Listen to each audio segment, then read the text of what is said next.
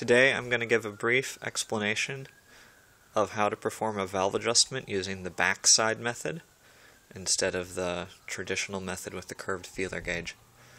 This is an engine from a 1979 uh, 911 SC. Um, as you're probably aware, the first thing you do before any valve adjustment is ensure that the engine is in top dead center position. As you can see here, I've got the marks aligned and the distributor pointing correctly. So that means that cylinder 1 is ready to be adjusted. So here's the upper rocker arm, and then down here is the lower one. Now traditionally, you would use a feeler gauge. Traditionally, you would use a feeler gauge such as this to reach in behind the rocker arm and wedge it like so. And after lots of wiggling and futzing, there we go. You get it in and you move it back and forth and use some sort of description of the feel, which is relatively subjective. Uh, this method, the backside method, isn't subjective at all. Instead, you need simply two straight feeler gauges, one at two and a half thousandths of an inch and one at three thousandths of an inch.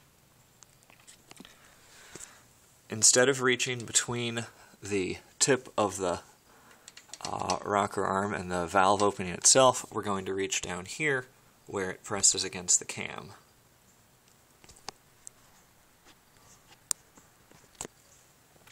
So what we want to do is we want to adjust the uh, screw here until the distance between the foot of the cam and or the foot of the rocker arm and the cam allows the two and a half thousandth gauge to fit and not the other. So I'm going to take my two and a half thousandths, I'm going to reach it down in here so that I can see it come up through here. And I'm going to ensure, as you can see here, that it can go in there. Then I'm going to take the two and a half, then I'm going to take the three thousandths, which I have cleverly marked with the red here, and I'm going to reach it in the same spot and ensure that it will not go in.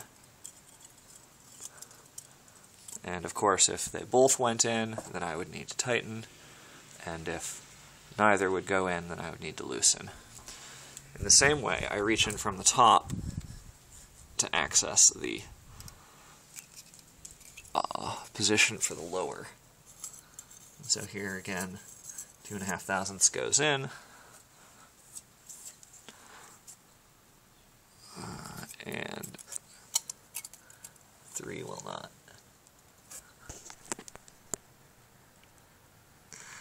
So that is how you do the backside method.